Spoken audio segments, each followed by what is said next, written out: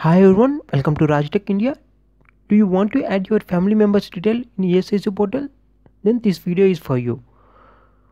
As an employee, you can't able to add your family members details to ESIC portal. Only your employer can able to do that in their employer ESIC portal.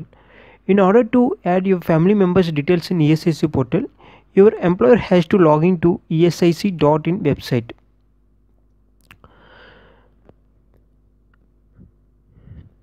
The website homepage will appear like this.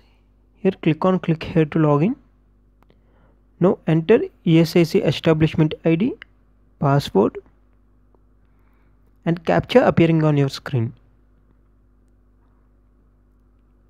After entering all the details click on login. Now close all the pop-up windows.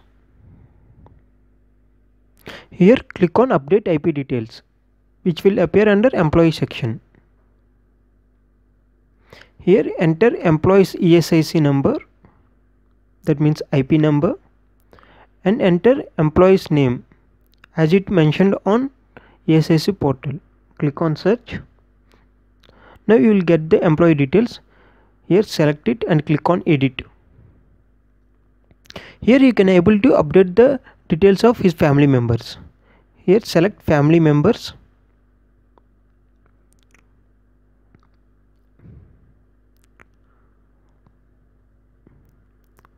now select family members.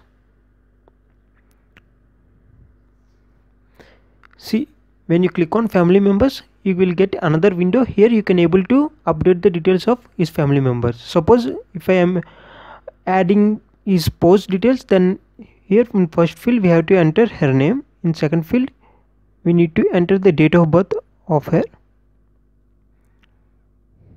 Here we have to select the relationship and we have to tick yes or no whether she is residing with him or not. If we click on yes then there is no need to add any further information. Only we have to enter Aadhaar number. After entering Aadhaar number click on add.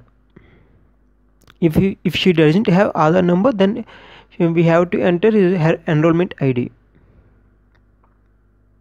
after entering all the details accept the declaration and click on submit. If you have already got your ESIC Pehchan code, then there is no need to take photograph every time when you add family members details.